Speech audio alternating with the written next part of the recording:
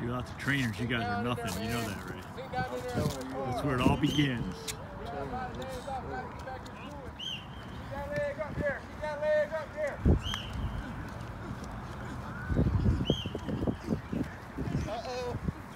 Here with Coach Robert Massey. Spring practice winds down this week. Coach, you got a game Saturday, spring game at Carver at 2 o'clock. The kids are looking forward to that? Yeah, you know, we've actually span this thing out over the course of a true month. You know, 15 practices, then the true month, the 23rd will be our final day, which is like you said at 2 o'clock.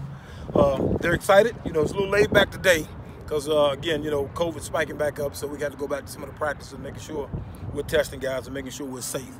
So, you know, right now things are going well. We still have the game scheduled to be on, okay. and uh, it's a good day for practice. Right, it's supposed to be a good day Saturday. I mean, that you know, this spring practice, you don't want to do too much. You don't want to get guys hurt. Is that kind of the main goal here? Well, you know, we got some guys that we we, we, we hold value in, and you know, as a coach, it's our job to get the guys to the game field.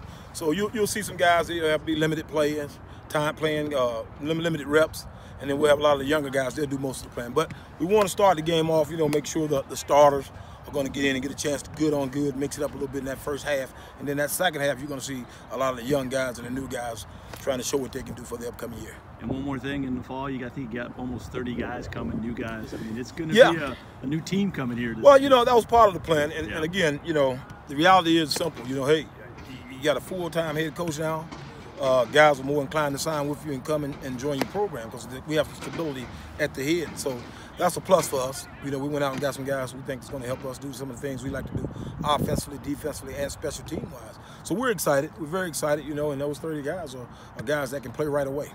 Sounds good. But good luck on Saturday. Thank you. Appreciate it.